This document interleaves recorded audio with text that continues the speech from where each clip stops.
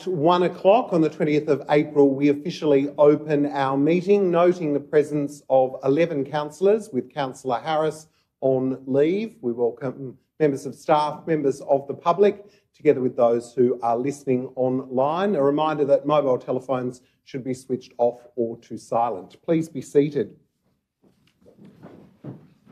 In opening the meeting, the City of Launceston acknowledges Tasmania's Aboriginal people as the traditional custodians of this land, and we pay respect to elders past, present, and future as they hold the memories, the traditions, the culture, and the hopes for generations to come. We recognise and value Aboriginal histories, knowledge, and lived experiences, and we commit to being culturally inclusive and respectful in our working relationships with our Aboriginal people. Item three on today's agenda. Are there any councillors wishing to declare any real or perceived conflicts of interest? Item four, confirmation of the minutes. The minutes from the council meeting held on the 6th of April. Someone to move? Thank you, Councillor McKenzie. And a seconder, Councillor Palmer. We'll put the motion to the vote. All those in favour raise their hand. That is all councillors present. The motion is carried 11 0. Item 5, Council Workshops 5.1, Council Workshop Report from the workshops held on the 6th and the 13th of April.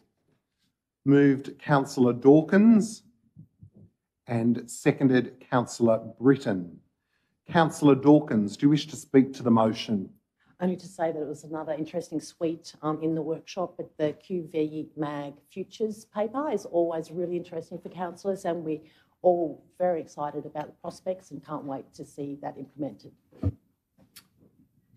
Thanks, Councillor Dawkins. Seconder, Councillor Britton. Any councillor wishing to speak to the motion? Councillor Dawkins, anything further? We'll put the motion to the vote. All those in favour raise their hand. That is all councillors present. The motion is carried 11 0. Item six, there are no councillors' leave of absence requests. We move to item seven, community reports.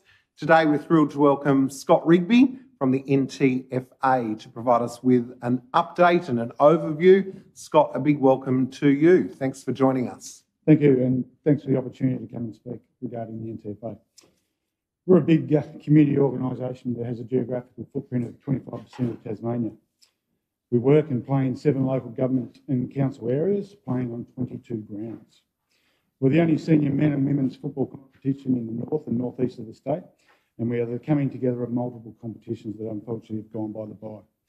We're made up of 20 clubs, 19 of those full member clubs, and the competition is governed by 12 independent member volunteer board.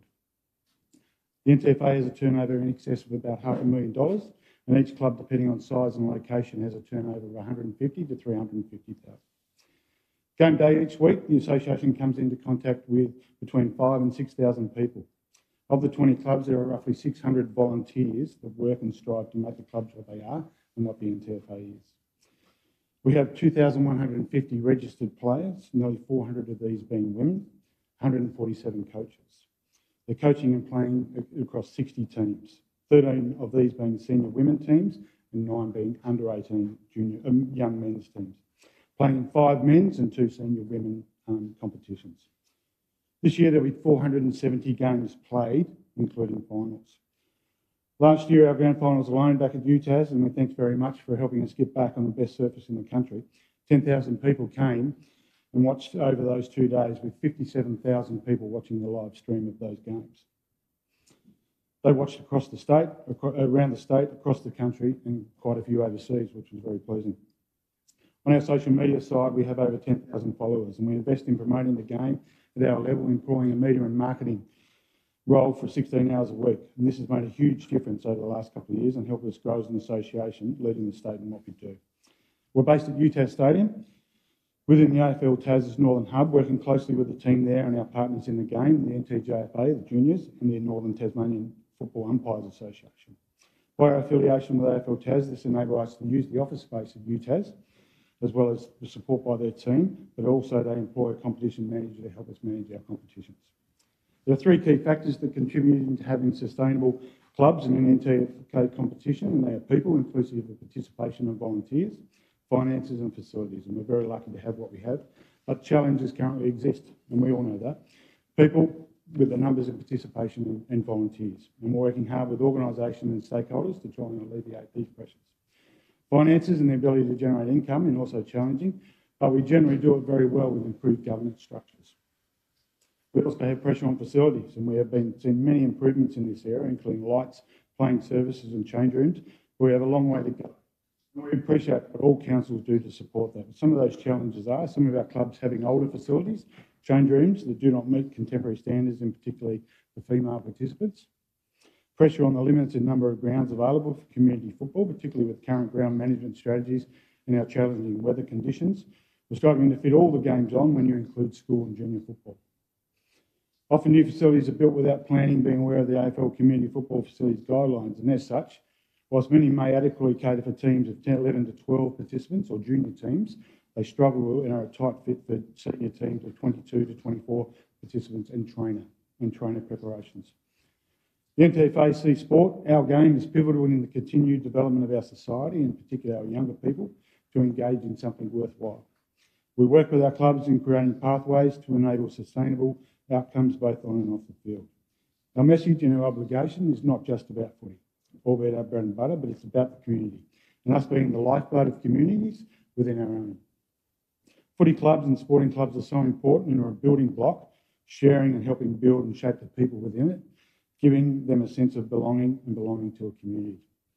We're very proud of our community participation in TFA and we partner with many community organisations around us to help and help share those messages. There's so important examples of these and, and some examples of these are obviously Speak Up and Stay Chatty with a mental health message. Last year we partnered with the Coringa and the whole competition together to stand up against domestic violence and deliver the home safe message. We'll be doing something very similar this year. Because we, we, many, we wouldn't be able to do what we do without our great many sponsors. And one in particular we're very proud of is our local down the road, and that is Boag's. And the Lion. This is the longest running sponsorship of its kind in Tasmania. And our newest agreement will take us beyond 40 years. Massive amount of the sport. At the time of signing, it was the biggest agreement sponsorship of its kind out of Sydney horse racing, which is a big investment in community footy. This is a small shot, snapshot, and I thank you all again for the opportunity to come along and speak on, the, on behalf of the NTFA. And I sincerely hope you can, and I invite you all to attend a game or two this year. Great, thank you, Scott. Um, really want to thank you for the work that you do. Um, but that snapshot with all of those stats, and I think that uh, those touch points in terms of the role that footy now plays, it's much more than, as you said, just a game that sense of belonging and community development um, more important than ever. To all the volunteers, um, incredible, you know, and we really thank you in your role as president for the work that you do. And if you could pass on to members of the board how appreciative we are. And I know the deputy certainly enjoyed being at the, the launch the other evening. So thanks for joining us. Thank you. Yeah, it'd be great. Certainly can. Thank you. I you. did plan to have one, but unfortunately, time being what it is. No, uh, that will be wonderful. I might ask um, if, if you just email it through, that'd be great. Yep. Thanks so much, Scott. Item eight, public question time. 8.1, public questions on notice. 8.1.1 um, from Raphael of the Tamar Bicycle Users Group pertaining to cycling infrastructure. 8.1.2 from the Honourable Rosemary Armitage, MLC, with regard to the bypass feasibility study. 8.1.3, Samuel Butler, with regard to the intersection at Hobart and Hobart Road and Bladen Street. 8.1.4, Mr Ray Norman, with regard to the QV MAG governance arrangements. 8.2, public questions without notice. Mr. Baines. Uh, I'll just invite, sorry, uh, Kelsey to provide the guidelines just for all speakers. I know you know them well, but just for the benefit of others. Thank you.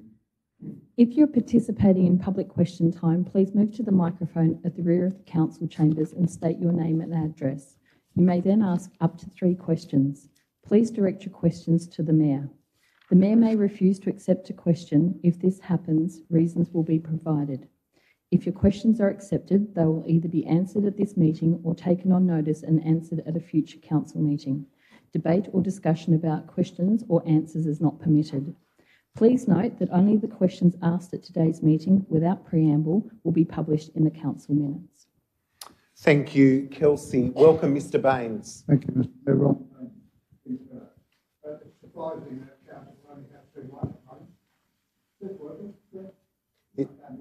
No, coming through loud and clear for the recording. All right, yeah, oh, that's better, now I can hear it.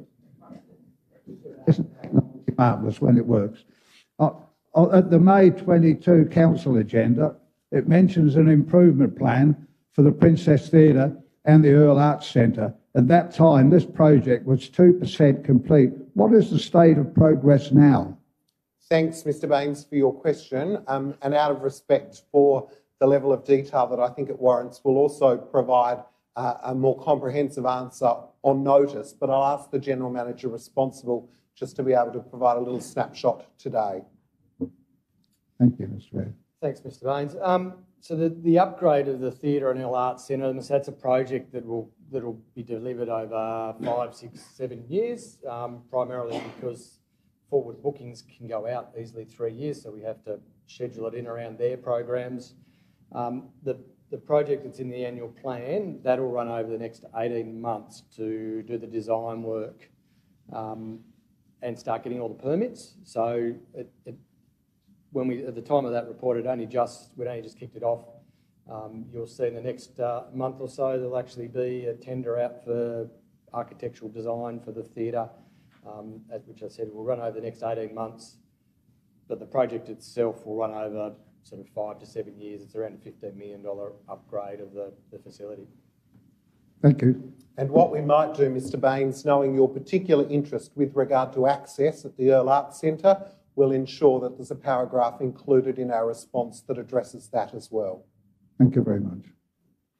Um, the same agenda mentions the redevelopment of the former Birchall's building as being 25% complete.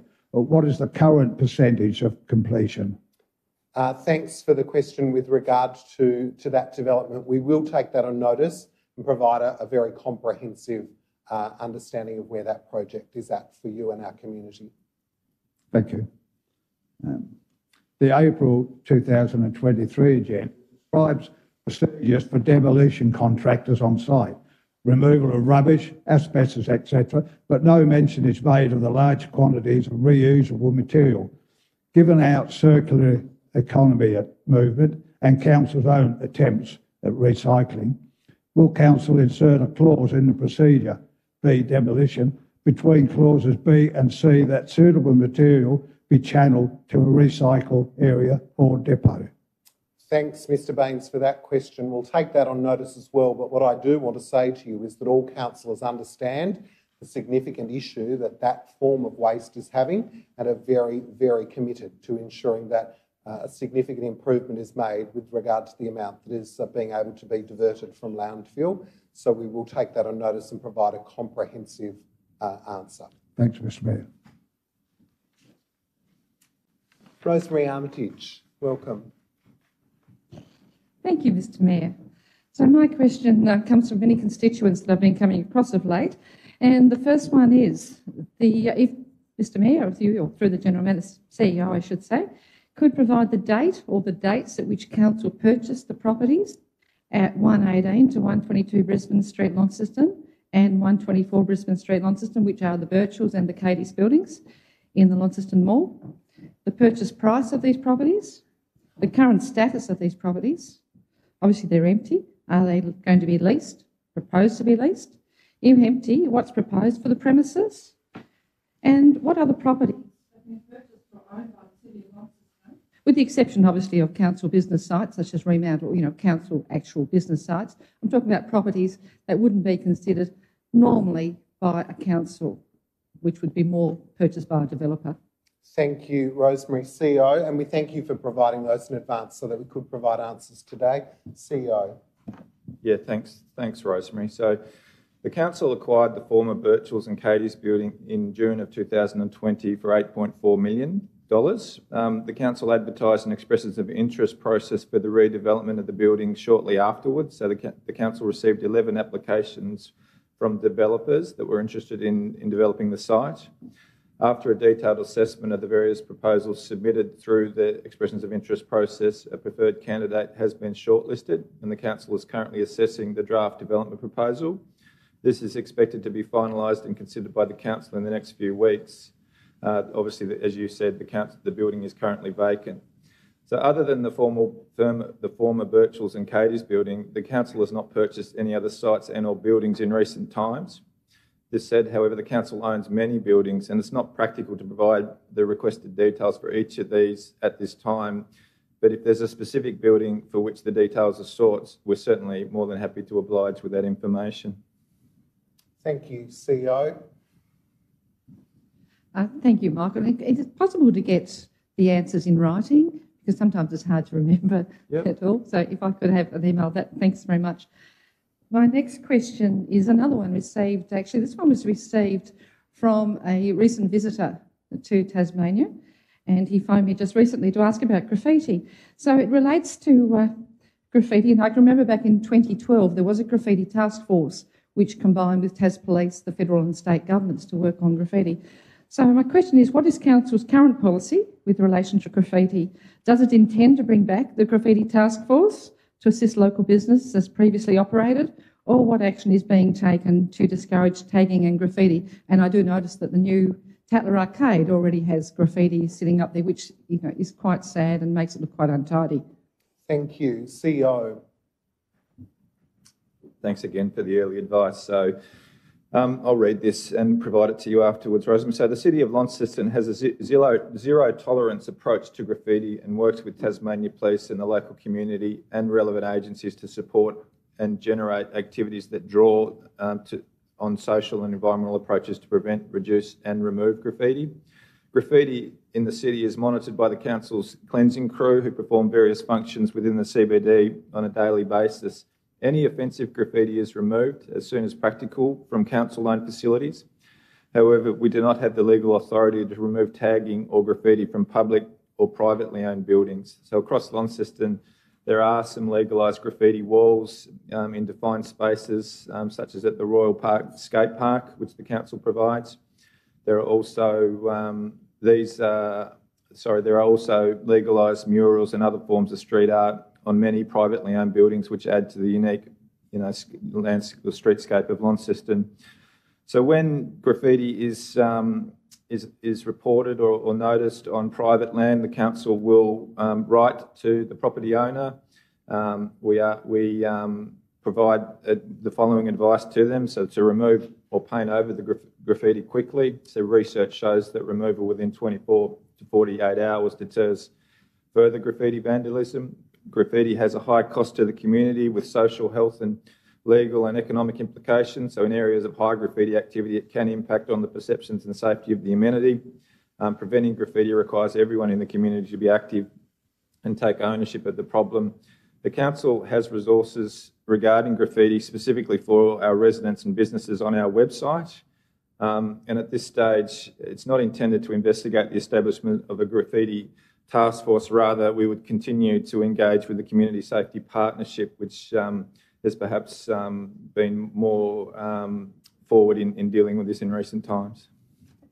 Thanks, CEO. And I might add to that also educating and reminding our community of the opportunities for them to report, no matter how small the graffiti is, that through our customer service centre via an email or through Snap Send Solve, so that it can be attended to, as you heard the CEO say, either our own property removed or indeed then a letter written to uh, someone else to have it removed. Thank you, Mr Mayor. My final question is also from another constituent with regard to, uh, or what is the current situation with regard to the Road Safety Centre at 45 to 67 Lawrencevale Road, which I note is currently closed and not taking bookings. So if you could advise when it's likely to take bookings? Thank you. We like ending on a positive. CEO. Thanks, Rosemary. So So the council has reached the penultimate phase in the redevelopment of the uh, incredibly popular road safety centre, so the design of the interior fit out for the facility. So this will be occurring towards the end of this month. Um, so once that design work is complete, we, we expect to advertise a public tender in early June for the construction of the play space um, and the likely completion of the civic works of the car park that surround. Um, so the aim is to have the facility open to the public early next year. Thank you, CEO. Thank you, Rosemary. Are there any uh, additional questions from the public? Let's move to item nine of the agenda, page 17. Under the provisions of the Land Use Planning and Approvals Act of 1993, Council acts as a planning authority in regard to items included in agenda item nine, planning authority. I'll invite Kelsey to read the guidelines for those wishing to speak for or against a development application. Thank you, Kelsey. If you're speaking to an item on today's agenda, the Mayor will invite you to come forward to either microphone. Please state your name and address. You may speak for up to two minutes, either for or against the recommendation. You will hear this sound when you have reached your time limit. You may not ask questions or enter into debate with councillors or council officers. Your statement is not to be defamatory, inappropriate, or abusive, or be intended to embarrass any person. The Mayor may direct you to stop speaking if you do not follow these rules or if your statement repeats points that have already been made. Thank you so much. So I have no um, pre-registered speakers for item 9.1. That doesn't matter if there is someone who wishes to speak to 9.1. No. Seeking one of my colleagues to move 9.1. Moved Councillor McKenzie. This is 12 Olive Street, visitor accommodation, construction of alterations to an existing outbuilding for use as short-term accommodation, noting it is retrospective, and construction of a carport. Someone to second the motion. Councillor Cai, thank you. Councillor McKenzie, do you wish to speak? Thanks, Mayor. I stand to speak in support of the recommendation made by council officers. Um, this is, I guess, slightly unusual. It's a retrospective uh, application, and I guess uh, probably just shows that when people buy property, they should actually check out to see whether things are authorised. Because I think the uh, proponents uh, purchased the property thinking that they had a dwelling that they could utilise in the backyard and found that they couldn't. Um, they looked through the options on how to then regularise that, of which one was, I guess, going into uh, uh semi-permanent accommodation in relation to rental uh, as opposed to short stay. And I think the short stay methodology seemed to be a, a better path for them to go through in this case. I guess the major issues in relation to this are not so much objections to what's going on by the representors. There's more, I think, confusion about process um, and receive of information which had different addresses on it and timing of information and people being away. Uh, so I guess that out of that, the upshot is hopefully we'll do a reflection on how that worked and how we might be able to improve it going forward into the future. Uh, and I, I think the second one, which is actually related to the building activity, which is the Form 6, I think it is, that was lodged on the neighbours in relation to doing properties and needing to come onto their properties. So again, looking at how we might be able to explain better to residents who are impacted by developments, regardless of the fact this is only a planning issue, not the, not the building issue. Uh, but I think all of those things are just some good lessons for us to learn. But in light of the actual fact, there's a carport that's looking to be built. Uh, we viewed the site. The site's got eminent room to be able to build a carport and actually house enough enough cars in relation to both that site and the and the main dwelling on the property. So uh, the discretions that are being, uh, being asked for are minor. Uh, the issue is simply, and I guess because it's short-term accommodation, it sparks a bit of interest in the community given the nature of the conversations that have been going on in relation to that. But in this instance, I think it's a very uh, sensible recommendation that has been made by officers. Thank you, Councillor McKenzie. Seconder, Councillor Cai. Good at this moment. Any other councillors wishing to speak to 9.1? Councillor Walker has a question. Yeah, and I certainly support the mover in in his uh, comments. And um, but my question um, is, it does go to that confusion that was mentioned. Um, apart from the, um, the, people being away and things like that, there seems to have been some confusion over uh, notifications, but um, also the the documents that were available for people to to observe, uh, from what I've read. They could come and see the plans, which is what they could see online anyway, but there was no further supporting documentation. Is that a normal uh, situation as far as advertised plans go? Thank you, councillor Walker. Manager of Planning, Richard. Um, generally speaking, all the relevant documents are placed on the internet. Uh, there are some procedural documents and other things that may be in the file. The file is available for inspection should people want to inspect the file. Um, normally, the internet suffices. Manager Planning, I think moreover, was there enough information for the Oh. public W- d- provided? w- w- Was there enough to understand what the development was? Yes. Thank you. Anything s- s- in addition to that would be of a minor and procedural nature. Thank you so much. Councillor Walker, any further questions? Wish to speak? Thank you. Councillor Thank you. Walker. Yes, I will speak. Um, and look, I can understand the, um, the consternation that people in the immediate area, representatives, might have in this situation. Um, it, it, it- I mean, if someone goes away, hopefully someone's checking your mail, and that shouldn't be a problem, perhaps. But um, you know, I agree when it comes to uh, any developer can apply to have and, and has the right to have access to your property, uh, which could sometimes be, you know, rubbing salt into someone's wounds if they're not particularly happy with the development. So I agree uh, with the mover of this motion that um, anything we can do to uh, to make that uh, more apparent upfront, to make it clear that this is always a possibility for any development that um, may require that access. Um, but also, yeah, it just seems that there's been quite a bit of confusion all around. The representatives aren't necessarily against the development per se. It just seems to be a lack of understanding as to what the implications might be. Um, I think in this case, the implications won't be great. Uh, the, the building footprint stays the same. Um, some some uh, addition is made to the to the wall at the back to make it uh, compliant, but beyond that, uh, the use um, hopefully is, is not something that's going to have a major impact on anyone, traffic wise or otherwise. So I will be supporting it. Thank you, Mayor. Thank you, councillor Walker. Any other speakers to 9.1? Councillor McKenzie, do you wish to close? We'll put the motion to the vote. All those in favour raise their hand. That is all councillors present. The motion is carried 11 0. 9.2, page 26 of the agenda, DA 0053 2023 315 to 317 St Leonard's Road, Business and Professional Services, construction and use of a new building for a funeral parlour. The first speaker I have listed is Phil Lethborg. Would you like to come to the microphone? Thank you, uh, Mayor. Uh, I just want to say we appreciate the council planner's recommendation for approval of our uh, development. We believe our use is probably the most congruent uh, use of the property that has served the local community for many years.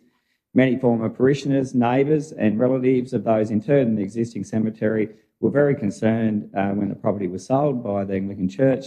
Many of these people have contacted us expressing their relief and support that the property will continue to operate in a very similar fashion as before and uh, will be kept and maintained well.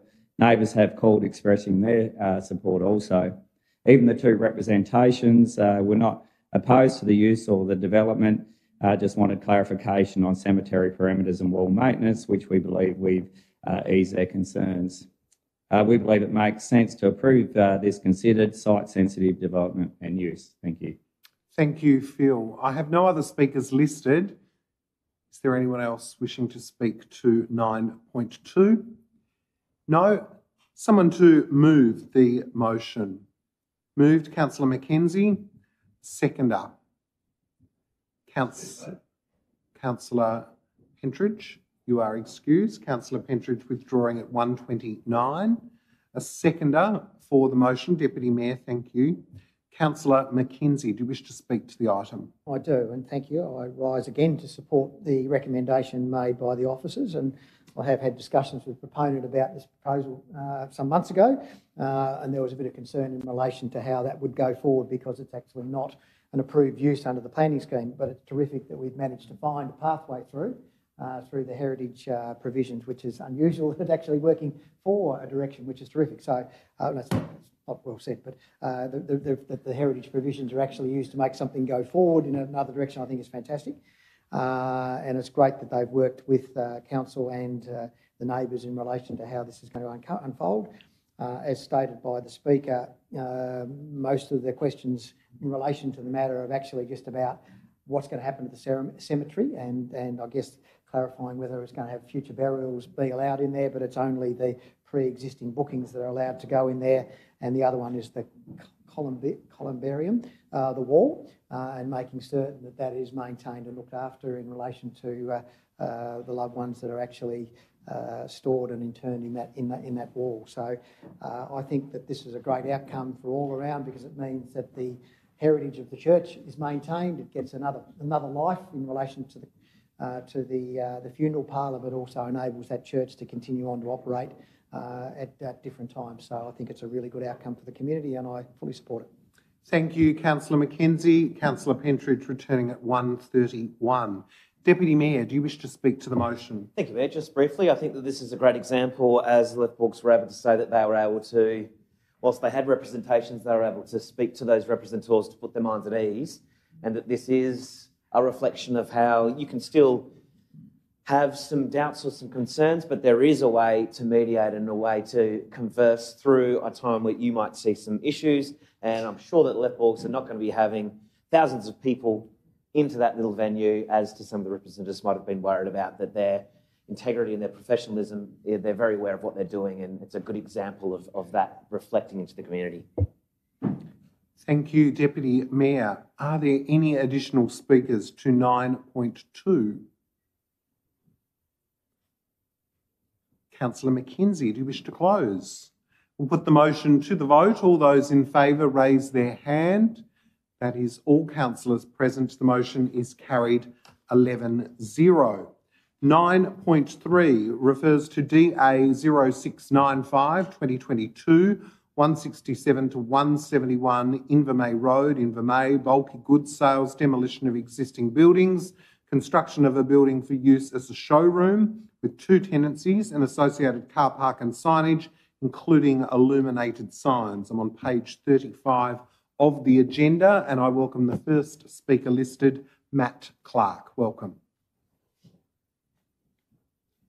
Thank you, Lord Mayor. Uh, councillors, uh, my name is Matt Clark. I'm from JMG at uh, 49 to 51 Elizabeth Street. Uh, the current uh, proposal uh, on this one is uh, on a site zoned local business and it's currently used for bulky goods as a use. So the application, there is no change of use in this case. There are businesses located both north and south of the site, so it's in, a, in, a, in, a, in, a, in an area, as you would know. Uh, and to the rear of the site, there's some, uh, there's some, there is some housing uh, for, uh, for government housing purposes. The tenant proposed for the site is Ashley Furniture, uh, and uh, they with a tenant facing facing the street. There is a, another tenancy that hasn't been filled yet. deliveries to the site are not particularly regular, as you'd probably expect with a, a furniture showroom there, there was a, a, bit of discussion with the council engineers around getting trucks in and out of the site and the conditions set up an arrangement whereby the large and medium rigid trucks can go in and, and out in a forward direction, uh, but that's outside the operating hours, hours of the building so that that doesn't cause um, problems on Invermay Road itself. So that's, um, that's a good thing and we certainly support that. Uh, we think that the outcome that we've put forward here is a, uh, a good one in that uh, uh, we've chosen to put the building up against the street um, and that uh, we haven't uh, addressed the street with car parking as is, is, is often the case with these types of developments. So I think we think we're really going to reinforce the activity centre there and provide some, some street, street um, activity. So we think that's a good thing. In terms of the um, representations that have been made, we understand that there's a, always a bit of anxiety with a new uh, commercial uh, premises going into, into an existing area from, from surrounding businesses, so we understand that. Uh, but uh, it, it, it, this is not a big box development in that sense. Um, the, the, parking has been assessed by uh, uh, both our own traffic engineer and um, council's engineers, and that's found to be adequate. Thank you, and I'll ask you to wind up there. Okay, thanks. And the final thing was in terms of the flooding, we'll uh, uh, we'll have in place um, that'll be dealt with through the floor uh, um, floor levelling and flood um, emergency management plan, which is fairly common for Great. those sort of sites. Thank, Thank you. you. Are there any additional speakers for 9.3? Someone to move the item? Councillor McKenzie, three of three. Someone to second? Councillor Dawkins, thank you. Councillor McKenzie, do you wish to speak to the item? If I could, but just be prior to, that, I just might just ask a couple of questions. I just wondering if the officer could just speak to the flood mitigation issues in relation to buildings on the floodplain. Thanks, Councillor McKenzie. Um, Town plan, Planner Dilip? No. Manager Richard? Team effort? Thank you. Um, so in common with all the uh, developments within um, the Invermay Inveresk area, it's assessed against a specific code in the planning scheme. It's also importantly referred to the flood authority for comment. So um, this application um, has the support of the flood authority. They've assessed the uh, the impacts on the flood and deemed that to be acceptable. Um, the application was made in with the, with the support of a technical report on how this would be resilient to the flood which talks about building resilience. It talks about location of electrics and other things at a higher level, emergency management plans, and other things. So we're pretty confident that, that this is an appropriate um, use in the uh, in the flood zone. It's a relatively low capital intensive use. It's not a residential use. It's not going to put people in harm, um, and it can be managed in the um, in the event that it floods. Thank you, Richard. Dilip, is there anything further you'd like to add, or are you happy? Yep, thank you. Councillor McKenzie, further question? No, no, no, I'll speak now. You'll speak as the mover. Thank you. Thank, thank you for that. I, I, just felt it was worth doing. I mean, this is a conversation we have every time we do something in Invermay, uh, and it's a development. We have traffic management and we have uh, flood issues that are dealt with. Um, we regularly get back a traffic management plan that says this works. Uh, I'm not a traffic management person, and I can understand with the confluence of Bryan Street on the other side of the road uh, and the level of traffic that go up and down Invermay Road, anybody who lives or works or drives by or walks by there will be concerned about the impact on traffic in relation to it.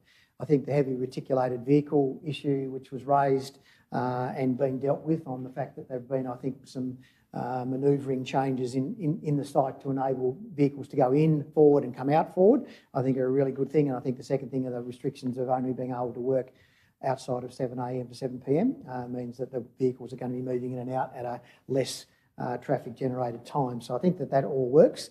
Uh, parking, another one which is always a big thing. Have we got enough parking spots on the site? Blah, blah, blah. Uh, it's, it's a regular occurrence in our conversations. All I can say to that is that as explained by the officer in relation to the flood management thing, we actually have a plan and how we do that and where services need to be uh, built within the buildings to ensure that if a flood does come, uh, that the properties are able to deal with those. And given that we get at least three days warning in relation to any floods that are going to happen, all of the buildings and, and commercial premises on the Inveresk floodplain get well and truly uh, aware, made aware of that, uh, and they've all got plans on how to exit safely and so forth like that. So therefore, we're much happier with commercial properties and commercial buildings as opposed to residential because it's a lot harder for us, us to manage that actual aspect of it. So I'm comfortable that we meet it. It's been through the flood authority, so therefore, yes, we're built on a floodplain. Um, that's what the levee walls are there to try and protect and make sure at least we've got an adequate warning system in relation to it uh, but doesn't mean we don't build anything on it. The answer is no, we don't, because we've been building on it for over a century. Uh, so we continue to do it, and we just managed to come up with mitigation measures in which to do that. So I accept the officer's responsibilities and we've uh, the responses, and note that we've actually got lots of flood mitigation plans within the planning scheme to deal with these issues. In relation to the traffic management, there's been a traffic management study done. Um, it's been approved by our, our traffic works people, and there's been one outside that. So the reality of it is I'm not skilled to be able to say, yes, I know there'll be more traffic potentially that'll come onto the road. Uh, our road authority is telling us there is sufficient capacity to deal with that. Uh, yes, there'll be some inconvenience from time to time. I think another issue is that we've got car yards that are emptying up down the road. Why don't we do it down there? Um, it's a commercial property owned by a person. Uh, they should have the right to build on a commercial a, a, property that's zoned to have commercial property. Uh, therefore, they've made the choice to build it there, not down the road, because they probably don't own that property. So I uh, respect the value, uh, the fact that somebody who actually owns a property has a right to use the property in a manner for which it is owned, and therefore uh, I'll be supporting this application today. Thank you, Councillor McKenzie. Seconder, Councillor Dawkins. Thank you, Mayor. Um, just to add a few additional words, uh, it's clear to us um, that ribbon development on places like Invermay Road is not without its challenges for residents. It always has been, and I assume it always will be. Um, during the building phase and then again during the operational phase, two completely different stages that um, res residents have to manage, and, and, and that I think we manage relatively well. Um, the, the conditions that have been applied will go some way to assist there, but it's, yeah, it's certainly a time uh, for residents where they have to live with a certain amount of upheaval. Um, I was particularly interested in the representative Dr. Coshin's information around sponge cities, and I'd like to do some further research around how that applies to a floodplain because it seemed to me the example given was not on a floodplain because, of course, a floodplain can't absorb an infinite amount of water because it's not only coming potentially from the sky, potentially over the levees, but also from underneath as well. And that's a completely different set of circumstances. So I think it would be really interesting to do more reading on that, but I, I really appreciate the representations and, and further study. Thank you. Thank you, Councillor Dawkins. Anyone else wishing to speak to 9.3? A question, Councillor Walker.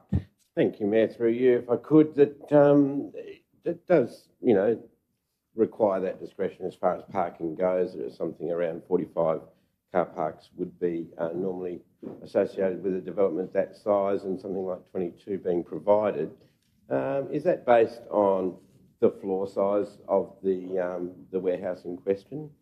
Thanks, Councillor Walker. Manager of Planning, Richard, is that something you're able to answer? Um, the, the, the, planning scheme works on a, uh, a relatively conservative standard allowance that works on floor area. Um, that's a, in our context, it generally overstates the requirement. It's a conservative figure. Um, when the use is analysed by traffic engineers um, and the actual characteristics of the use, not the generic kind of big box type use that you see all over. Um, quite often that is brought down to a level that's more manageable. And it's certainly my experience in Launceston that there's a lot of furniture shops with half empty car parks for that reason. So um, in terms of the Invermay, the village of Invermay, certainly minimising the land, the flat tarmacked areas um, it's probably better for the streetscape. It's probably better for the commercial uh, feeling of that village. So certainly um, aligning the amount of car parks to the reasonable use is a better outcome than sticking to a formula that may not be appropriate.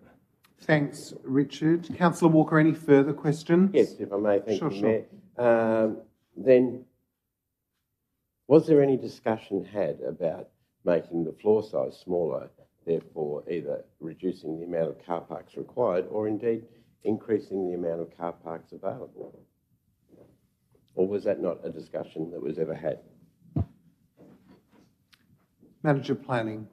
I think uh, um, the the application was made and assessed to be okay. I don't think there was any necessity to do that. Thank you. Councillor Walker? I'd like to speak to the motion, if I may. Thank you, Mayor. Um, Councillor Dawkins has spoken. That's fine. Yes, Oh, go ahead. good. Thank you very much. Now, you can see, obviously, I do have that concern. It's partly because of the um, the way that this will connect to Invermay Road, um, on adjacent to that um, intersection with, as I'm looking at it, Bryan Street. Um, it is already, you know, uh, increasingly difficult, I suppose, to get onto Invermay Road if you're turning against the flow of traffic. Uh, something that will probably continue to get worse just because the road would, over the years, seem to be getting busier and busier. This will certainly contribute to that. And I can imagine, I can well imagine people who are going to this destination uh, wanting to turn against the flow of traffic when they come out of that site. Uh, rather than head north, if they have come from the south, they'll want to head back south. That's just the nature of, of people. So what we're doing is contributing uh, to the difficulties in that street. Now, I'm not saying that that's impossible to, to manage or anything like that, but I do have my concerns when um, you, you, um, you know, sort of couple that with it being adjacent to a, you know, another another street in Invermay. Um, and I do, you know, also have those concerns if, now, you know, I can well accept that the car park may never be full. That's true, but um, it almost, it, it, it, also may be the case that trucks uh, will arrive at different times of the day for different reasons. There's nothing to stipulate that trucks have to come at a certain time of day, even though I'm sure that's how it'll be managed as best as possible. Um, essentially, what I'm saying is there's a lot of question marks around that, and I can see that how that could contribute um, to people's concern. Uh, when it comes to the flood mitigation, I have not ever been uh, overtly supportive of new developments on a floodplain. Uh, that includes universities, um, it includes warehouses, and certainly the council does have policy as far as uh, people's living um, arrangements go. But when it comes to these type of developments, uh, we seem to think that uh, that is not a necessary consideration, that the contribute, uh, contribution that this would make to worsening a flood event is not worthy of consideration as far as uh, a development proposal goes. So, having said all that, you know, a building that was above the floodplain that maybe had, um, you know, residential space above it, that would be something that wouldn't contribute to the flood problem. Um, but a building that is on the ground floor um, potentially can contribute. It's arguable whether it contributes a lot or not. Um, so, yeah, I, um, I, I struggle with this decision because I can see uh, the benefit of utilising the site. I'm not against the concept in itself. Um, I certainly would like to have seen more provision for car parking or perhaps more consideration uh, given to where uh, the ingress and egress um, is on the site. Um, as it turns out, it will be on an intersection and uh, yeah, that's a little problematic. Thank you. Thank you, Councillor Walker. Any other councillors wishing to speak to the item? No further questions. Councillor McKenzie, do you wish to close? Yeah, I do, thank you. Just to respond to a couple of things that Councillor Walker raised, that the heavy rigid vehicles are actually limited between 7 p.m. and 7 a.m. in the morning. They can't do it during the day, so therefore that's part of the conditions of that. So therefore those heavy vehicles won't be going in and out of the site during the day, well, basically during the daylight hours outside of um, uh, daylight savings. Um, and I guess the flooding was considered, as each of them are by the Flood Authority and was approved uh, for the use uh, by them. So they, I guess, view these things and take into account the matters pursuant to the, the planning scheme and in relation to how the flooding mitigation issues arise on the uh, on the floodplain. And I think the other thing, which was relation to traffic, which is something I did neglect to talk about earlier, there are a set of traffic lights which I think are only about 50 metres down the road, think one of the representatives actually expressed that that would be a detriment uh, to the whole thing because queuing that goes on there. In my view, it actually allows people to escape out of Bryan Street in both directions uh, when the traffic lights are red, and likewise egressing in and out of that, that property, I think, will be assisted by the traffic lights. So I think that's a further mitigation uh, aspect in relation to this development application. So again, I'll, uh, uh, I'll restate the fact that I will be supporting the motion. Thank you, Councillor McKenzie. We'll put the motion to the vote. All those councillors in favour raise their hand. Those councillors against. There's one councillor against in Councillor Walker. The other 10 are for. Therefore, the motion is carried 10 1. Thank you. Council no longer sits as a planning authority. Let's move to item 10, announcements by the Mayor, page 48 of the agenda. The first thing I'd like to note is to um, make a change there that Councillor Dawkins represented Council uh, attending Brixhibition on Sunday, the 16th of April. Appreciated. I'd further like to pick up on the item on Friday, the 14th of April, the meet and greet barbecue uh, with representatives and members of our Tasmanian Aboriginal community, the Tasmanian Aboriginal Centre. As um, our council knows, recently we endorsed our first ever Aboriginal Partnership Agreement, a wonderful beginning as we set to reframe our relationship with our Tasmanian Aboriginal community. And it was just wonderful that we could um, afford uh, the opportunity to converse in a very traditional way over a good old barbie with members of the Tasmanian Aboriginal community at the Tasmanian Aboriginal Centre. I think it would be fair to say, uh, and I'm, I'm, paraphrasing the words of Lisa Colson, the manager, she herself was overwhelmed with the number of community members that stayed around and wanted to attend the barbecue. Uh, it sets a great message for what could be an ongoing uh, way of us just building a relationship uh, with our community members. And I want to thank those councillors who made it their um, business to be there. There was a great number of councillors who could be there, a couple who we knew were apologies, but I think it was a great way of us setting our relationship with the TAC in motion.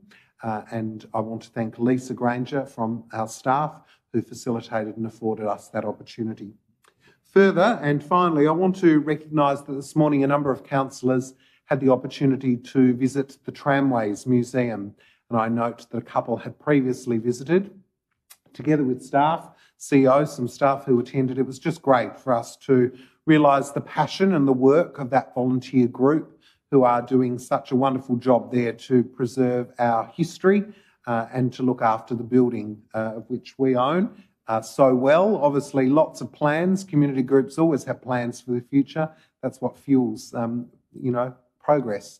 So we look forward to considering their plans into the future. But I want to thank those councillors who gave up their time to be present this morning. And importantly, I want to recognise the Tramway Museum for their um, passion, their advocacy, and their great work. Are there any questions with regard to the Mayor's announcements? You may. Councillor Cai, retiring at 152. Councillors' reports. Councillor McKenzie.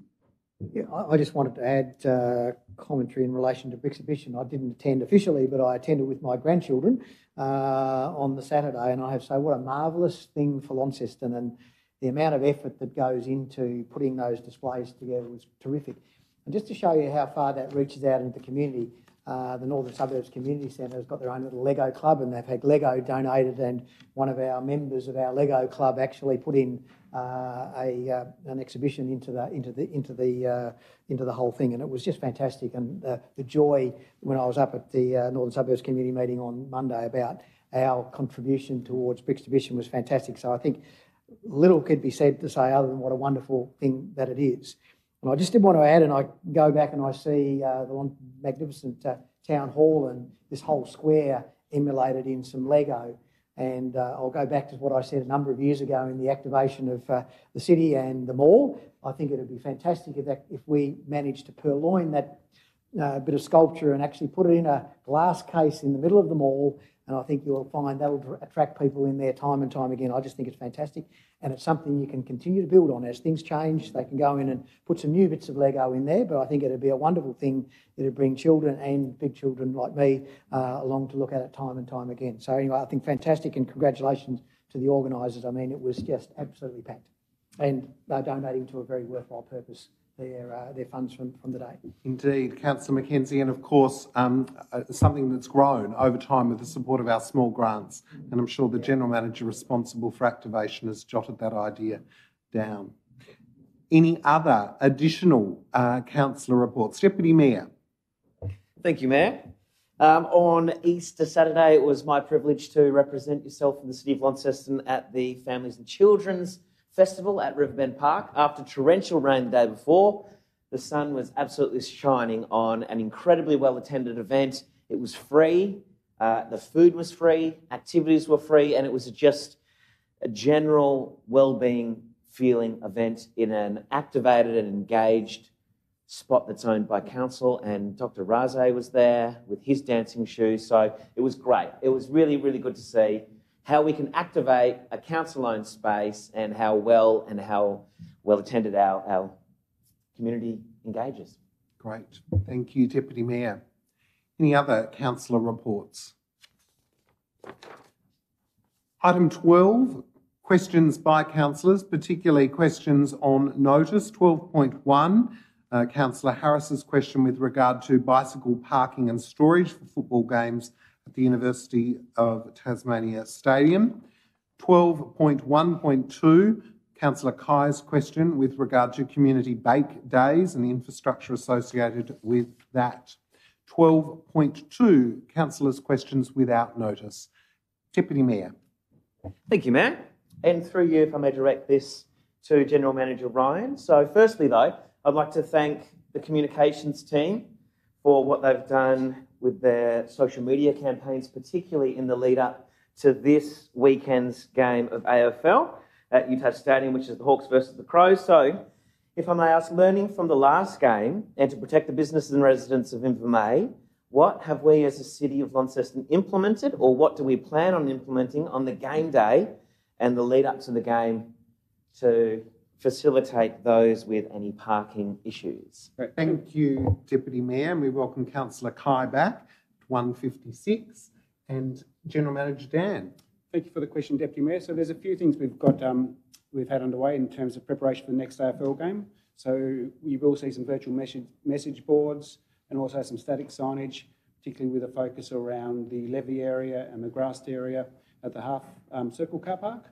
Those um, signs will be highlighting the preferred use, well, the use and the free parking available through the Northern Inveresk car park. Um, our comms team have been great actually. They've incorporated some QR codes for those people who are unfamiliar with the area. They can scan the QR code, which will direct them to where the Northern car park is. Um, to help those people who are unfamiliar with what um, how to best find the way to the to the free car parking. Um, we've also been, you may have seen this, pushing pretty hard through our social media channels, a, a campaign just reminding people that there is free parking at the Inveresk car park. Um, clearly, we're all looking for the same outcome: is that we get that car park full and that um, the infrastructure is protected um, on game day. And some additional radio advertising, I believe, as well. Correct. Yeah. Great. Deputy And whilst you're there, General Manager, if it's okay through you, Mayor, uh, we've, we've heard questions today about the graffiti.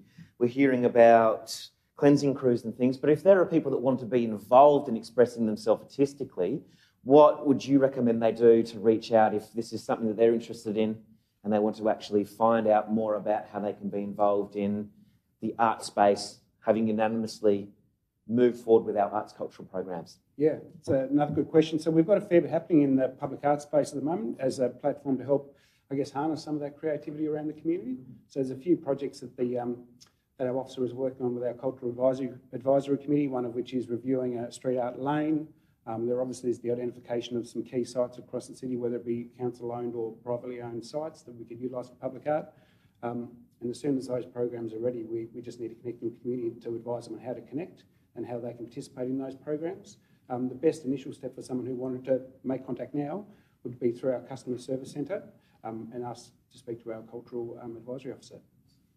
That's wonderful. Thank you. Deputy Mayor, any further questions? Councillor McKenzie. Mine was similar to that, actually, in regards to the public art policy, just to sort of fully, more fully answer where uh, Honourable Rosemary Armitage asked the question, is that our public art policy is actually a part of our diversion policy in relation to graffiti as well. Is that is that not correct? Absolutely. All the best research suggests if you get some good public art um, up on walls across the city, the likelihood of that getting um, tagged becomes significantly um, decreased. So that's part of the philosophy behind this project is to get um, yeah, local art up on our, our walls. Thank you. Is graffiti. Yeah, fantastic. And my second question was really just in relation to a um, constituent rang the other day. Not, I don't know if it's necessarily you, uh, Dan, but uh, in relation to fees and charges and how we pay. Uh, I think they came and tried to pay something over the telephone and had difficulty, and just the flexibility of being able to be pay or being able to pay directly into the account instead of we've got to pay it by credit card. Then we're you know, charging percent charges where if I just want to pay it directly into the account. So just looking at the flexibility of our payment structures, they thought would be a really good way of them being able to pay us without us actually being charged an extra 1 or 2% by credit card charges. So just looking at the flexibility, is that something that we could do? Let's take that on notice. We'll provide a comprehensive um, response to that. Great. Thank you. Any further councillors' questions? Councillor Walker. Thank you, Mayor. Um, just a question in regard, and it is also adjacent to the uh, questions that are being asked, interestingly enough. The removal of the thylacines has been decided. Could we get a timeline uh, roughly for that and also the process that will be involved in terms of where the locations for them will be uh, in Civic Square? Thanks, Councillor Walker. General Manager Dan. Yeah, absolutely. So the uh, thylacines are due to come out of the mole next week. So there's been some preliminary work done this week and last week just to make sure that process is um, is relatively seamless. Um, in terms of the placement, our placemaking team is currently working with the artist, the, the sculptor, to make sure we have the right placement through Civic Square, finding the suitable locations. You may recall there was a few that have been potential locations that are highlighted as part of a previous presentation. Some of those are very likely to proceed. We're just fine tuning some of the other sites. Great. Thank you, Dan. Councillor Walker. Happy? Any further questions without notice? There being none, let's move to item 13, Organisational Services Network 13.1, the 2022-23 budget, budget amendments. We welcome Manager of Finance Nathan and um, Roxanne, our um, Acting Organisational Services Network GM. Someone to move the item. Councillor Britton, thank you. A seconder? Councillor McMahon, thank you. Councillor Britton, do you wish to speak to the item? Thank you, Mayor.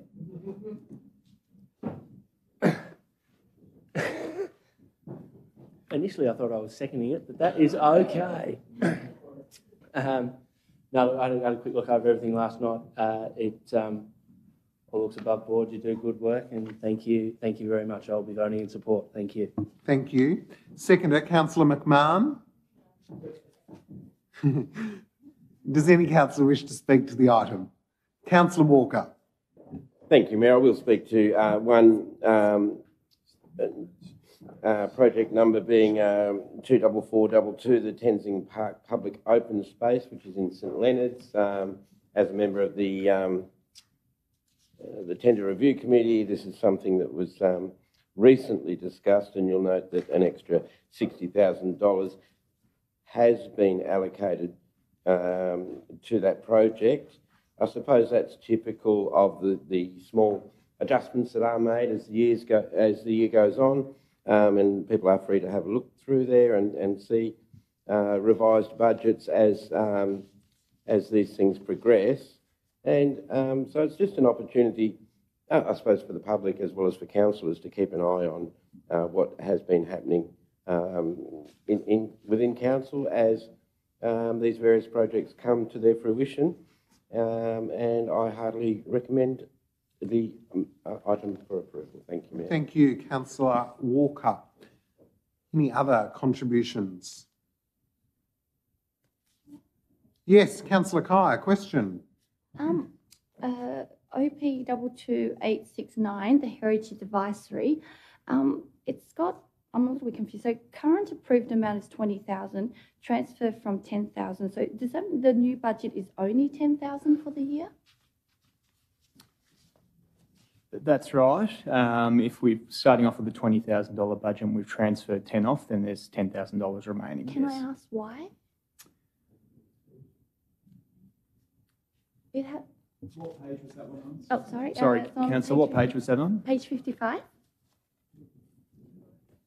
Uh, table 1B.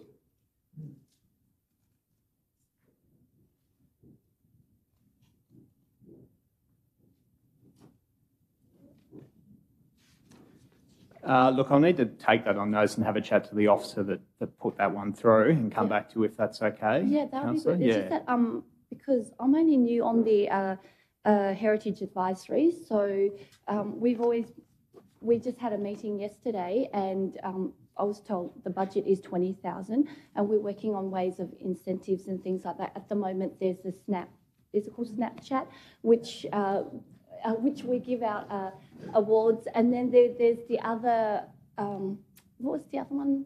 Where they had people can apply for uh, competitions and things like that. So if this budget gets cut down to 10,000, um, we, there won't be, we won't be able to hold as many competitions and things like that. General Manager Dan. Thank you for that question, Councillor Cai. So as you may note, some of those trims were made to accommodate some of the um, new trail, the tracking systems for the banners that have been located throughout the city, which have got some really good benefits for community as well.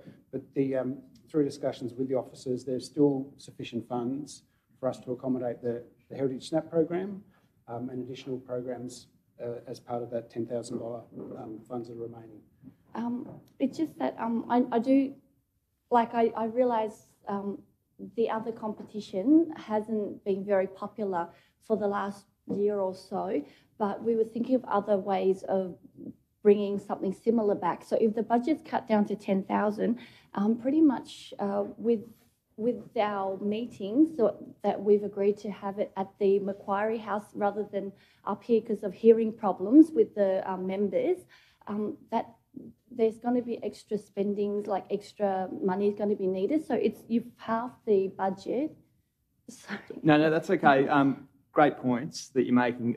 Important to note, and the CEO's just um, reminded me of this. This is for this financial year, whereas I think you might be referring to next financial year. So we're not changing the budget for next financial year. That's still proposed to be twenty thousand dollars for next year. for next year. So Because Heritage Snap is held after July 1. after July. So so with the halving the uh, the allowance for the Heritage Advisory Committee, like when does that start or, or for what time period? I'm So sorry. that will um, run until the 30th of June is what we're looking at here. So um, what I would say, and, and further to Dan's comments, um, there's funding available in this financial year to the end of June. From July 1 to the end of 30 June um, the following year, we're still proposing to have that same amount that you So advised next in year your will still be twenty thousand. That's correct. Right. Okay. Sorry. My bad. No, no, that's good. They'll never not put it up without a descriptor again. Councillor McKenzie. Just, just to follow on from that, we've already done what we were doing for Heritage in this year and we won't have spent the 20,000. So it's basically what's left over, which can be transferred, I think is how that's working.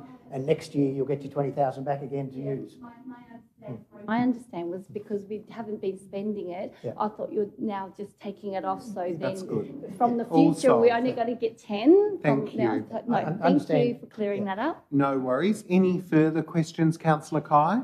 No, no. Councillor McKenzie. So, so just for clarity, th- these are just adjustments in the budget. We're running into 30th of June.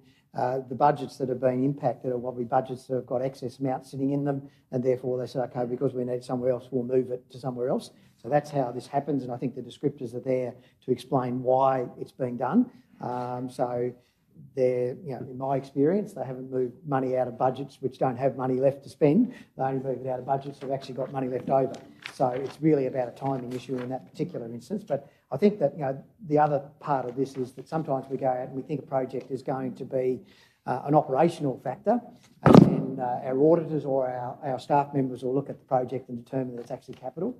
So we've taken it out of an operations budget and it actually should have come out of the capital budget, so we need to swing it round, which means our capital expenditure goes up and our operation expenditure goes down, or, or vice versa. And this is what these these adjustments are all about. But clearly, you know, understand where your question came from, but uh, I know pretty well we've already, we already spent it in the last committee.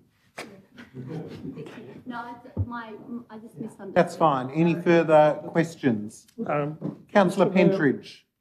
What concerns me that um, being part of that um, heritage advisory, um, are we are we actually saying that because that money wasn't spent, we therefore have lost it?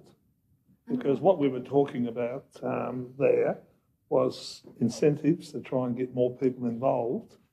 Um, So what we're saying is that there's some left over in this year's budget. We're going to. So that means we didn't spend twenty thousand. That's correct. But we had twenty thousand to spend and it didn't happen, so we lost it. Well, you didn't lose it. It means that the, the, the work. this year. That's right. But, but what we are saying is that uh, we could have done the heritage. We could have done ten thousand dollars more incentive that we didn't do because um, we weren't aware of it. But it does sound like it's going to be reflected in an enhanced program next year that you're already planning for and looking to rev up. And if we need an extra ten, we'll get it. Any other questions, councillor Pentland? Councillor Walker.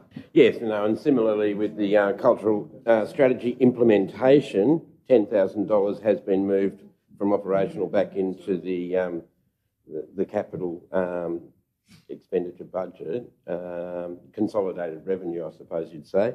Um, as chair of the cultural um, ad- advisory board, I'm not sure if that money is directly related to that uh, committee or or whether it's part of the broader um, Launceston Council's um, cultural strategy implementation. But certainly it'd be a similar query, I suppose, as far as the Heritage Council goes, if that money is available um, somewhat by that committee um, to implement cultural strategy, I'd be most interested to having further discussion about that. Thank you. General Manager Dan, any insight you're able to provide?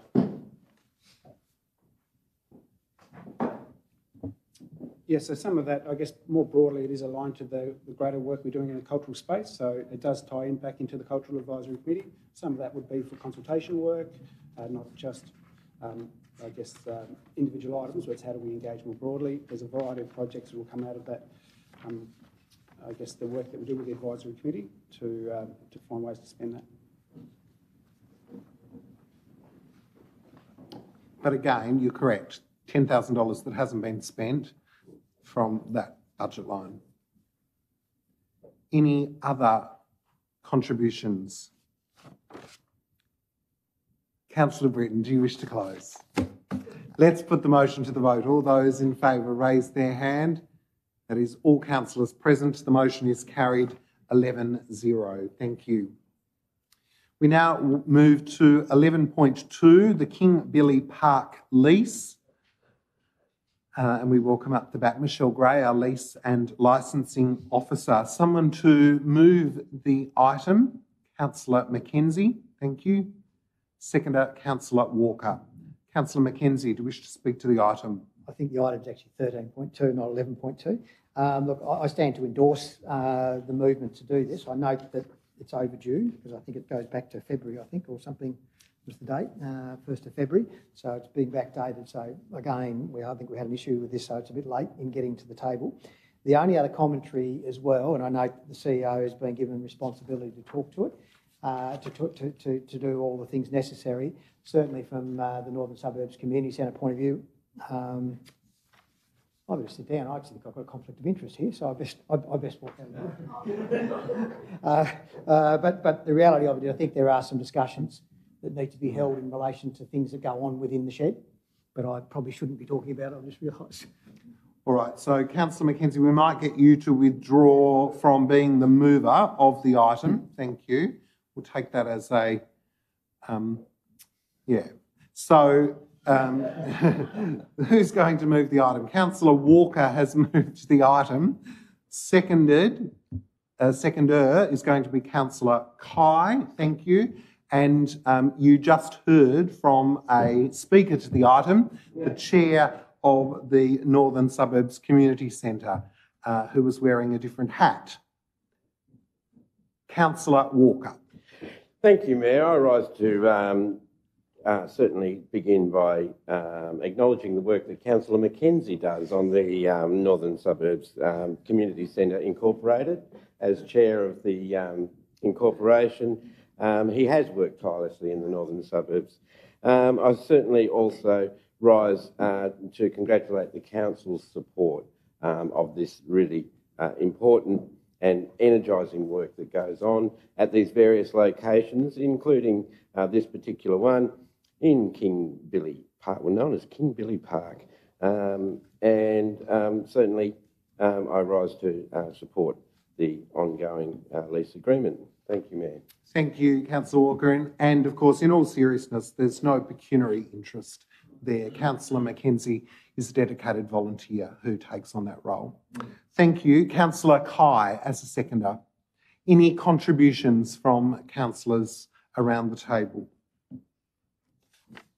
Okay, we'll put the motion to the vote. All those in favour raise their hand.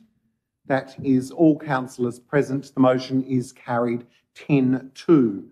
We welcome Councillor McKenzie back at 2.15. 13.3, representation at the Australian Local Government Association's 2023 National General Assembly Conference.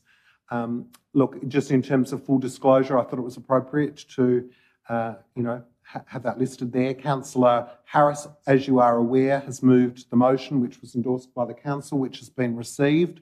Uh, it's appropriate for, in my view, Councillor Harris to speak to the motion, uh, and so we've put them in together for full transparency. Someone to move the item. Councillor Dawkins, seconder. Councillor Walker. Councillor Dawkins, do you wish to speak to the motion?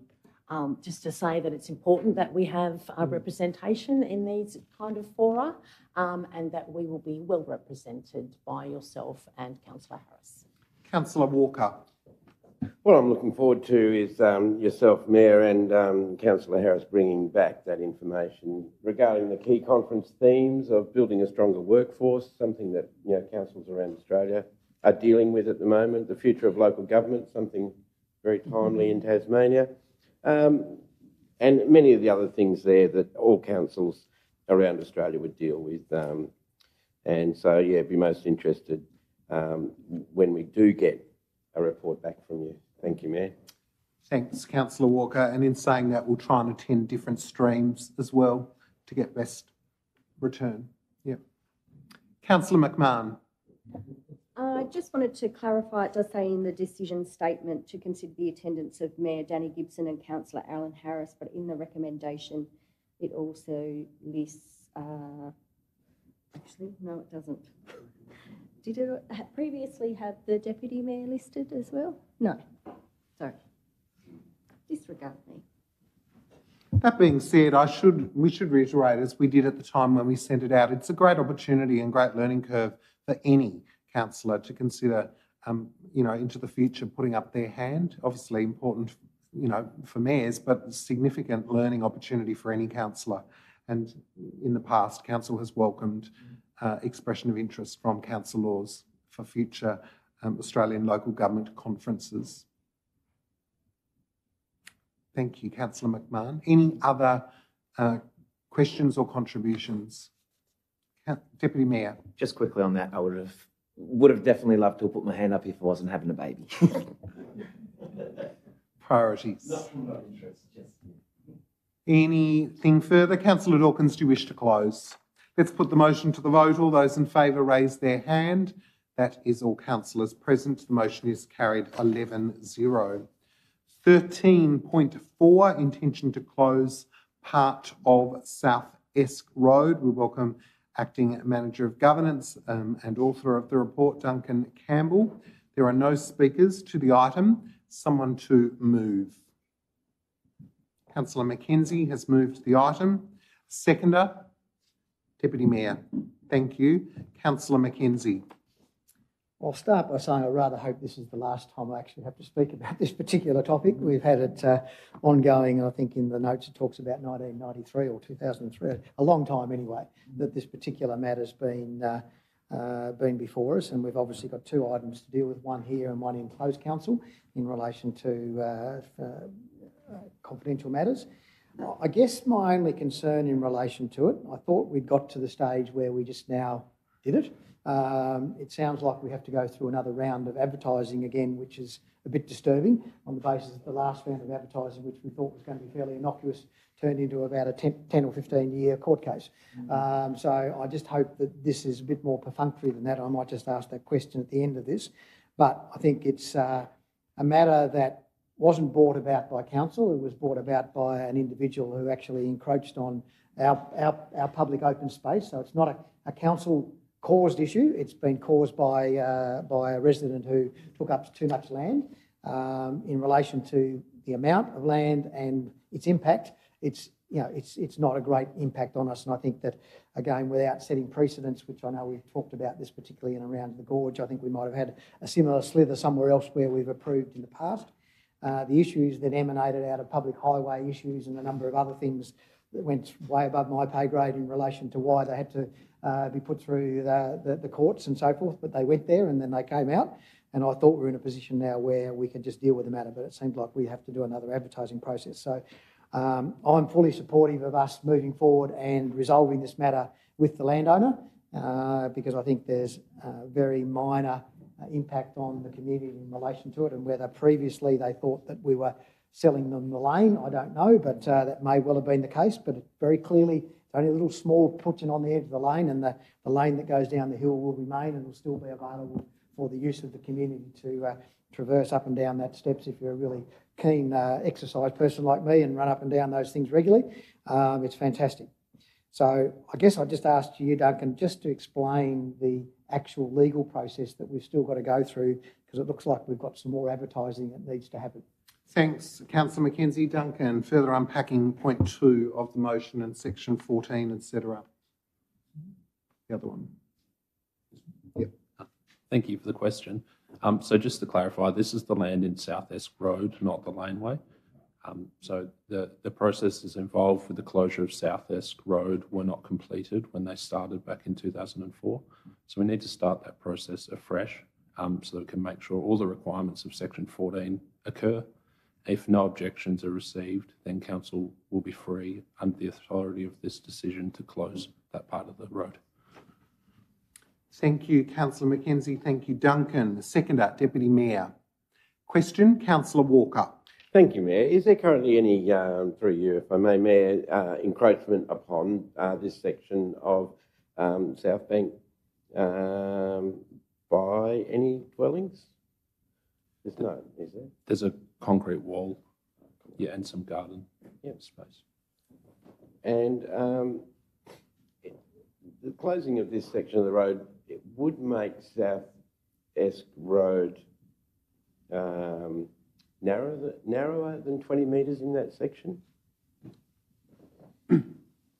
Um, that's, it's not relevant. Um, yeah, it, it's not relevant that the carriageway is narrowed. So I think what you're getting at is um, the restrictions that existed back in the 1800s, which were to do with the dimensions of the road, but those are no longer applicable. Um, no, no, certainly no longer applicable. So then, um, what is the main motivation for us today seeking to close this road, close this section of the road? Is it only at the request of um, a landowner, or is there also uh, some uh, tangible sort of outcome for the council? This has been a very long running dispute, um, and it's a pragmatic approach to bring a matter to a close. Um, the professional advice from the um, road engineers is that the land is very unlikely to be needed for future use. Um, so it's about bringing a long running matter to a close. Thank you, Duncan. Any further questions, Councillor Walker? Any further speakers? The seconder doesn't wish to speak. Thank you. Councillor Walker. Thank you, Mayor, and uh, thank you, council officers, for the work that they've put into this over the last 20 years. And, um, you know, thank you to the uh, 200 years of um, antiquated law in Tasmania that has brought us to this position. Look, certainly I can understand uh, the consternation and frustration that landowners might have in certain situations around our city uh, where boundaries don't seem to ma- match uh, their expectations, or perhaps um, you know they would uh, covet a piece of land that might be um, not on their title, uh, but that they have use for.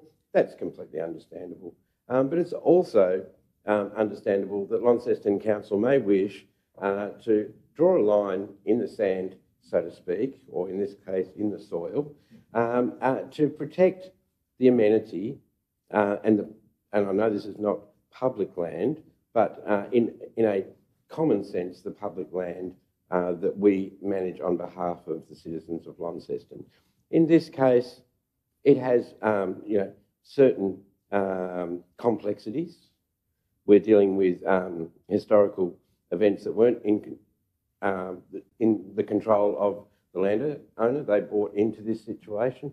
I can appreciate that. It doesn't necessarily mean that Launceston Council uh, should um, roll over um, and allow uh, people to, to, you know, usurp uh, those pieces of land that they may desire, or indeed they may be currently using.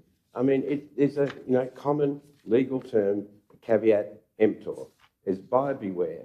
Have a look at what you're buying, have an understanding of what you're buying, and know full well that you may have to resolve issues that, that haven't been resolved uh, before you came along. In this situation, um, this resolution, although it is not associated directly with the laneway, except for the very small amount of land at the top of the laneway, yeah, in front of the laneway, um, probably half a square metre or something like that, it certainly relates to this ongoing dispute that council's had to deal with. And I think that council has acted um, in, in, in all honesty and fairness in the situation. I don't think uh, um, that, you know, council has been irresponsible in the process. The very sad thing in any of these legal cases, of course, it is that it costs a lot of money. Um, and it might seem at a certain point that people weigh that up and say, well, the amount of money involved is not worth it compared to the amount of land involved. But it is very important for Launceston Council uh, to maintain that principle and to maintain uh, its sovereignty over the land that it does uh, hold on behalf of the people of Launceston. Thank you, Mayor. Thank you, Councillor Walker. Are there any other contributions? Okay, Councillor McKenzie, do you wish to close? Only that I hope we all vote in favour of this because uh, it, it, needs to be dealt with. And um, whilst I, I think precedents are something that we've always been conscious of, and I think we've had three in the last year where we've dealt with encroachments on the gorge. Uh, one of them is not dissimilar to the one that we have, which we passed through, and one was basically a backyard was sort of you know in, going into the gorge, which we actually didn't uh, didn't pass. I think in the end. So I think that um, I take the view that pragmatism in this particular case, where there is no detriment to the, the citizens of Launceston by doing it, I think is probably the best approach to deal with it. Um, and the uh, person who owns the property at the moment may or may not have known about that encroachment before they purchased it. But, uh, but regardless of that, I think we need to get to a conclusion on this and move on with our lives, uh, as I don't think it will have any significant impact on the residents of Launceston. Thank you, Councillor McKenzie. We'll put the motion to the vote. All those in favour raise their hand. Those against? Three councillors are against in councillors Walker, Pentland and Cai. Three, eight. Therefore, the motion is carried. Anthony, are you happy with that? Yep. Thank you. Let's move to item 14, Chief Executive Officer Network. 14.1, the Northern Tasmania Cricket Association Precinct Charter. It's recommended that the Council endorses the NTCA multi-purpose, sorry, multi-sports precinct facilities management group charter as included. Someone to move the item? Councillor Britton has moved the item. Seconder, Councillor Palmer. Councillor Britton, would you like to speak or reserve your right at this stage? No, I'll, I'll speak. That's fine. Um, no, no, I, I, think I think it's a brilliant idea. We had a workshop the other day that went through our uh, the importance of sporting grounds um, and the need to, to maintain them and keep them keep them going well. And this is all, all seems to be a move in the right direction. So I'll be voting in support of that. Thank you. Thank you, Councillor Britton. Seconder, Councillor Palmer. Any councillor wish to speak to this item? Councillor Walker has a question. Thank you, Mayor. Through you, I'll just ask if the CEO could um, outline the, the main changes that this group charter uh, will bring in, in bringing the different um, precinct users together under this charter. Thanks, um, CEO. Thanks, Mr Mayor. It's a good question. So at the moment, um, all responsibility and, and large part of the work involved in the management of the precinct falls to the NTCA committee. Um, and they do a good work, volunteers, all of them, um, and obviously they have paid staff that, that, deliver that. So what this does is the main change is, is um, incorporates the the, um, the tenants to have a role um, in, and to pick up some of the workload in respect of the the planning and the um, understanding of maintenance and the um, the direction, if you like, of the staff that are engaged by the NTC. It certainly doesn't undermine or diminish the role of the NTCA. They've done a great job um, with limited resources and a very good task. Um, this will um, spread the load, if you like, um, and allow for greater input from all of those that, that you know benefit from the, the facility. Thanks, CEO. Thanks for the question, Councillor Walker. Any other contributions? Councillor Walker. Thank you, Mayor. I will note the uh, the work that um, our CEO does in this area in um, his role as I do believe um, uh, part of the board. No, no, on the NTCA. No, we, I, I will. Loyal servant. Phrase. What's that? Servant of the council. Yes, servant of the council, nonetheless. But as certainly our main um, liaison, I suppose, then you would say with uh, the NTCA ground um, and ongoing sort of negotiations in that regard. Um, it's certainly an important precinct for Launceston, um, something that it, its its role you know has slowly changed, and hopefully with um, you know specific investment um, over the next few years, that that role will change further. Um, but yes, I was under the impression our CEO attended the meetings, but it must be the case that um, that was in. I, I, won't ask the question there. I'll, I'll, just leave it there. I know that he's certainly done a fair bit of work in the area.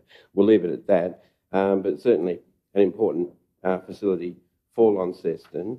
And um, you can only imagine that it will become uh, more and more crucial over time with um, the amount of sports, uh, the growth in, in the various sports involved. Thank you, Mayor. Thank you, Councillor Walker. Deputy Mayor, I wonder if you could take the chair for a moment. Thank you, Mayor. Would you like to speak? I would, thank you. Uh, look, I just want to say that I think this is a wonderful result for the number of tenants that uh, utilise that particular facility. Uh, certainly in my early days, there was lots of conflict and there were lots of challenges that had to be, uh, had to be determined with regard to the governance and the governance arrangements uh, pertaining to that site.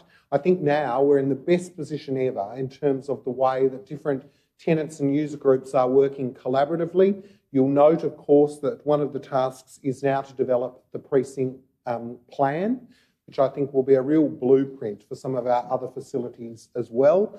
I note that uh, a number of um, the tenants and users are certainly the, the, most happy they've been. And as the CEO said, it in no way reflects the governance model, but it just shows the way that sports and, and facilities evolve. Um, and this governance review is the first of its kind in 30 years. It's well welcomed by all of the tenants, by the NTCA themselves, and by other users. And as I say, I think it will be a great beginning for us to be able to apply to other important sports facilities like St Leonard's into the future. Thank you, Mayor. Handing the meeting back to you. Thanks, Deputy Mayor. Councillor Britton, do you wish to close? Let's put the motion to the vote. All those in favour raise their hand. Council, uh, those against? Those abstaining? Councillor McKenzie is abstaining, therefore the motion is carried 10 1.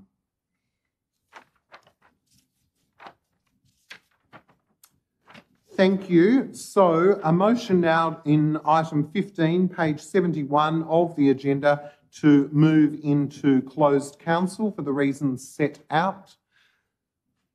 Someone to move. Thank you, Councillor Walker. A seconder.